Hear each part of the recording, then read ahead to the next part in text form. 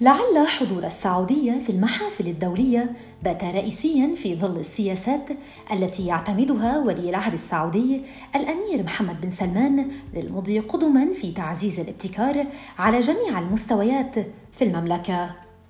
النمو الاقتصادي ورفع جودة الحياة وتحقيق مفهوم التنمية الشاملة والمستدامة في مختلف القطاعات التقليدية. هذا وأكد وزير الطاقة السعودي الأمير عبد العزيز بن سلمان أن ولي العهد حريص جدا على تطوير قطاع الابتكار في السعودية لافتا إلى أن بوصلة منظومة التعليم تتخذ مسارا إيجابيا بسبب وجود لجان عليا معنية في هذا القطاع والتي ستقوم بتطوير قدرات الشباب والشابات.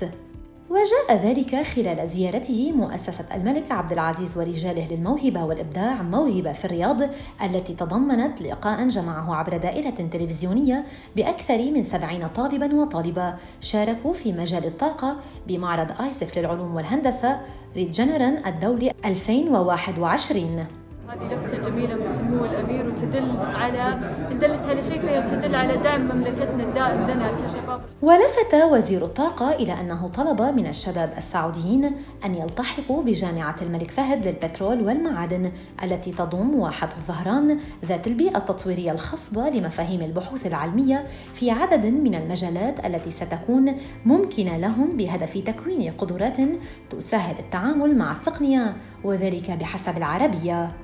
وبدوره أكد الأمين العام لمؤسسة موهبة الدكتور سعود المدحمي أن مشاركة السعودية في هذه المنافسة الدولية في هذا المعرض بدأت منذ عام 2007 حيث كان لهم هناك مقعدان فقط مشيرا إلى أنه مع مرور السنوات حتى عام 2021 تمكنوا من التطور بشكل ملحوظ حيث أصبح لديهم 30 مقعدا في خطوة تواكب ثقة القيادة بما يقومون به من واجبات عملية. ولفت المدحمي إلى أن الجوائز التي حققها الطلاب السعوديون في المعرض تجاوزت الخمسة وسبعين جائزة وهو رقم محفز جدا. أما فيما يتعلق باختيارهم مجال الطاقة يعود إلى كون السعودية هي من يقود هذا المجال دوليا على مستوى المنتجين أو مستوى المستهلكين. يذكر أن معرض ريد جنران الدولي للعلوم والهندسة آيسف 2021 يقام افتراضيا في الولايات المتحدة الأمريكية بمشاركة أكثر من 1800 طالب وطالبة من أكثر من 75 دولة. والسعودية تنافس على جوائزه الكبرى بثلاثين مشروعا علميا لثلاثين طالبا وطالبة من مختلف الإدارات التعليمية. يمثلون المنتخب السعودي المشارك. هذا وتعد مشاركة المملكة في هذا المعرض الخامسة عشر لها على التوالي.